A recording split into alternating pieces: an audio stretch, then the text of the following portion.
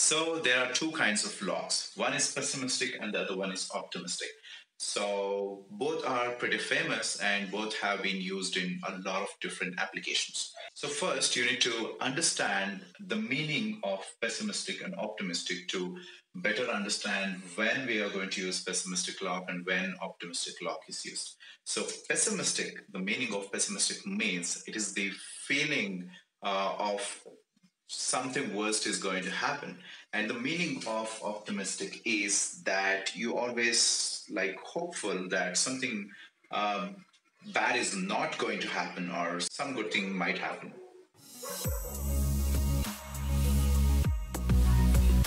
So pessimistic lock is the lock which most of the people knows and have used.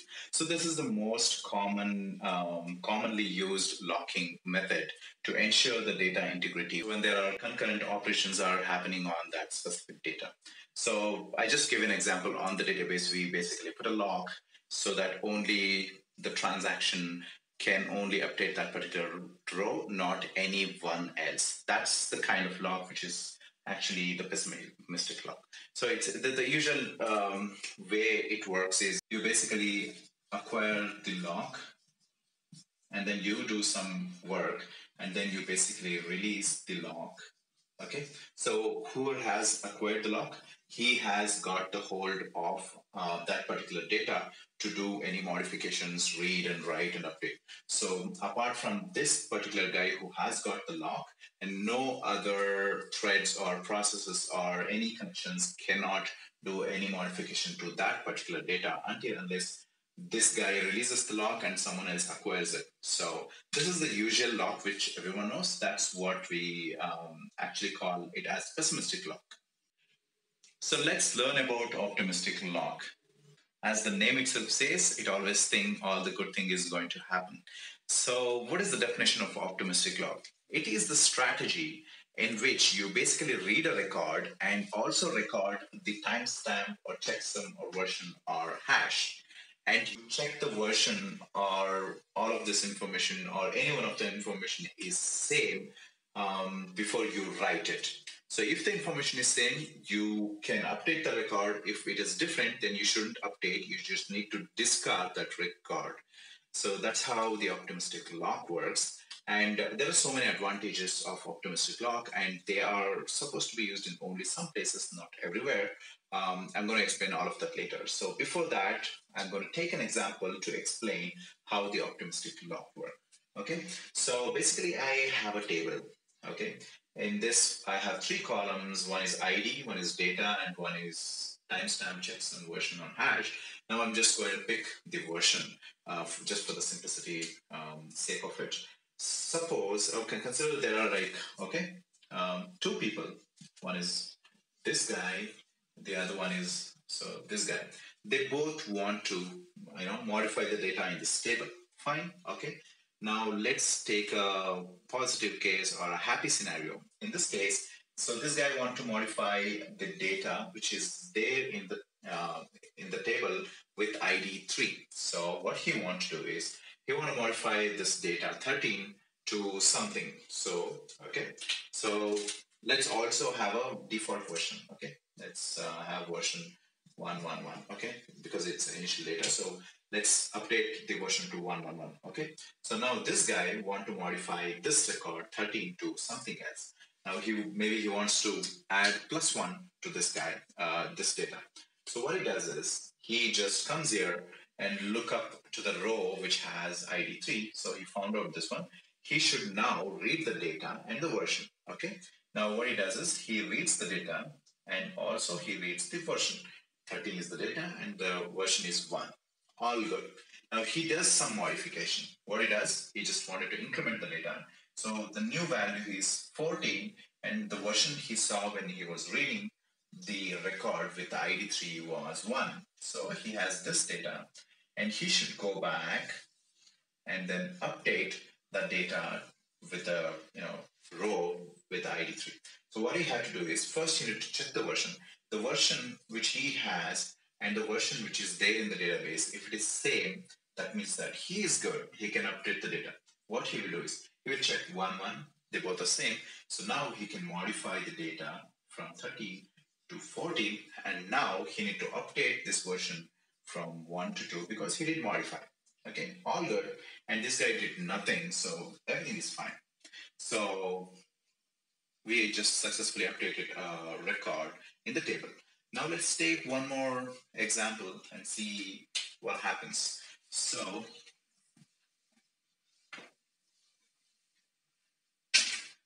So this guy again want to update this record from 14 to 15. What he has to do, he comes to this uh, row with ID 3 and then he reads the data and version. So what he reads 14 with the version 2. Now while he is incrementing, he is, this guy is a little slow. While he's incrementing, this guy came in and somehow he also is interested in ID number 3 row and then he also want to increment 14 to maybe 17. What he does also does is he comes here and reads the data and the version. He reads the data, now the data is 14 and the version is 2. So, and he wanted to increment it by 3. So what he does is, he does plus 14 plus 4, sorry, 3. He basically gets 17 and the version is still 2. Now, obviously, he will go back to update because this guy is faster and this guy is a little slower. So he's still doing the addition. Okay. Now let's not worry about him. So he will go back and then he update 14 um, to 17. First, he will need to check the version. So he checks the version 2 and 2. It's good. So he can update. Now what he does is he updates from 14 to 17 and then he will increment the version to 3 because he just did updates. He'll need to increment the version to 3. So he's happy and he came back. Now this guy who actually read the data first, now he's finished with the updation. So he has to increment. I think he will increment from 14 to 15 and the version when he read was 2. Now he will go back to update it. But first you need to check the version 2, 3. It's a mismatch. That means that this guy will know that before I do some modification, someone has came in and then has modified the data. If I update this data 50 into this record, the data is going to get corrupted. So he's not supposed to do that because the versions are different. That means that he just need to discard this information what he has. So he will have to recompute the information. So he will again read it. What he has to read is 17 and the version is 3. He will have to increment whatever and then he will have to go back and then update. So now there is a easy way to figure out someone has modified or not.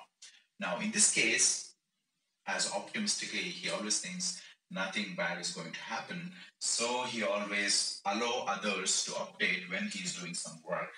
Okay, even though we have transaction, we basically have isolated this operation. We basically read it and we're doing some updates. Meanwhile, we allow others to update this particular row as well. But if it was pessimistic lock, we completely lock this row. When this guy is doing something, this guy is not even allowed to, you know, update this particular row. Sometimes it is okay to allow to read, but it is never allowed to update this information. If it was pessimistic lock, when this guy read it, because this guy is slow, he's doing something, okay, this guy is not even allowed to update this information. He has to wait until this guy releases the lock and then only he can update. Because it was optimistic lock, it was okay to allow multiple people to update when someone is actually, um, you know, doing some work um, on the data which was existed earlier. So there are specific use cases where you have to use optimistic lock, and there are specific case places where you have to use pessimistic lock. Mm, you know, it's not always true that you have to always use optimistic or you have to always use pessimistic. It all depends on the use cases. So if it was a database, um, you can yeah, it's always good to use pessimistic lock. If it was some places like Wikipedia, you know, article editing, say, because it they take time, right? Because you have, for example, in the database, you have an article which is like A, B, C, D. The article ID is say one. So editing article takes so much of time. So what usually people do is they read this take this information and put it into editor and then they started to type and then when they come back and update by the time there could be so many people, they also want to update this article. Uh, if it was a pessimistic lock, it's like until I finish editing of this article, no one is supposed to edit this article. But Wikipedia and any other, you know, um, content updation um, portals will basically use optimistic lock. What it means is that that will basically work in this scenario, this way. Basically, I read this information, I edit it, I can take a day or two to edit that information. And if someone really wants to do some updates, they are also allowed to update. So if they are faster, they can read it and update it. By the time I finish it, if I go back and try to update it, it basically does a conflict of version, and uh, and I get to know okay, someone has already updated. I just need to get the new information, add my updates, and then push it back.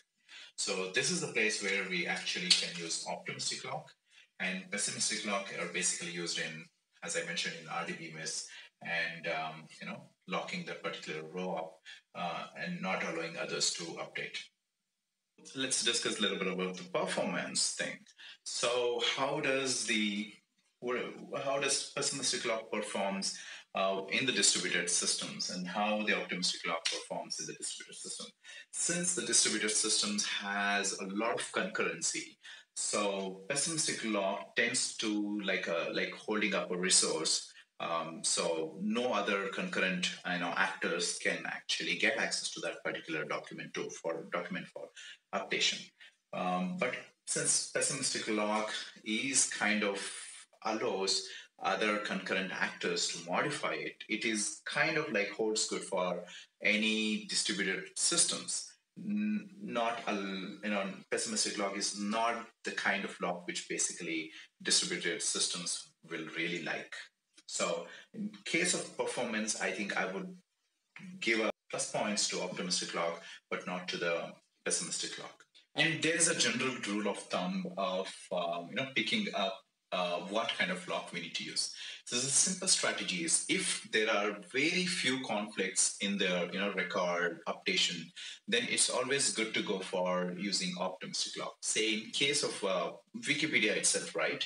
So how many people do you think uh, will be trying to update the same article?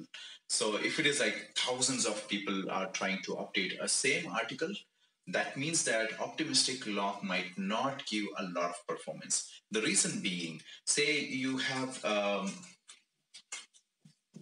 so this is the article, and so so basically there are like thousands of people or concurrent actors who is trying to update it. Now, because of there are so many people trying to update, optimistic lock will still allow everyone to you know basically read and try updating, right? because no one gets the version number right or no one gets the timestamp right. So everyone basically go there and then see a different version, drop it, go there and drop it, go there and drop it. So no one actually succeeds in updating the actual data. It's like like like too much of chaos there. So in this case, it's so the performance will be not good because the most of the time is wasted by you know by trying to update and failing to um, do so. So there are so many actors. Everyone is trying to update the confidence. The, the, the versions are mismatching, so no one is basically really succeeding. So on the other hand, if there are very few conflicts, that means that there are not so many, you know, concurrent uh, actors or concurrent uh, connections or threads who is trying to update this article.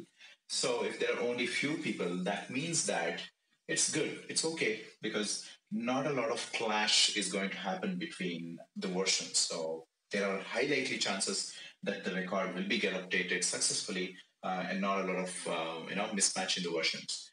But on the other hand, if there are uh, you know more conflicts, the pessimistic pessimistic lock basically works really well.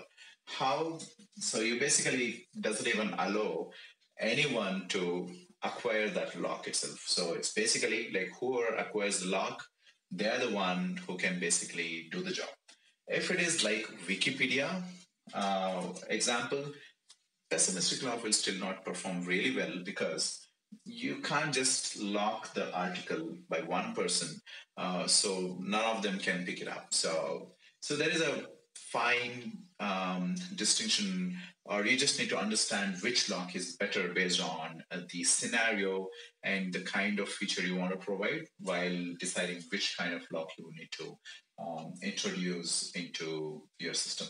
So, and, and there are a lot of um, drawbacks are you know some things which you need to really care, be careful when you're using pessimistic locks something like you always need to make sure that there are no deadlocks um, in your pessimistic lock because um, there are, there could be possibility that there are two locks in your system um, and one for a record and one for b. And both locks are basically waiting for each other. So this guy is waiting for this lock and this guy is waiting for this lock and no one really succeeds. That's kind of deadlock. So you, you always need to make sure that there are no deadlocks in your system when you're using pessimistic lock. And also you need to make sure that there is uh, always a timeout. In case of these kind of problems or in case of even even a different problem, if uh, a lock is held for more time that you need to make sure that you always have a timeout for locks. Otherwise, the locks are completely locking the table that no one really can do anything about it. So if you have a timeout after some time, the locks will be automatically released, and so the system is still back into action. Um, that's one thing. Um, and also, uh, in kind of pessimistic lock, you always might need a direct connection um, you know, alive connections between the you know person who is actually trying to lock it and then to the system. So in case of database, you always might need a persistent connection um, to have this lock working. Because say, for example, transactions itself, right?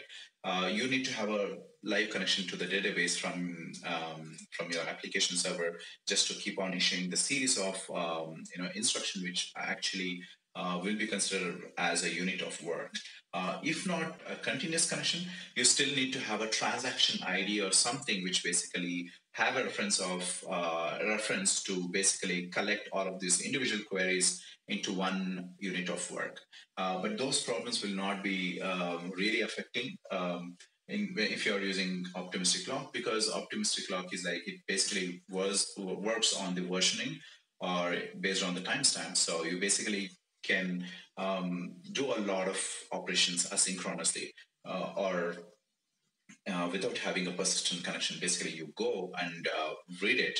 Uh, you have the version. You can go back, do some modification, and then come back uh, without having a persistent connection. So you basically have always a version number to compare before you update. But that's not always uh, easier in case of you know pessimistic lock.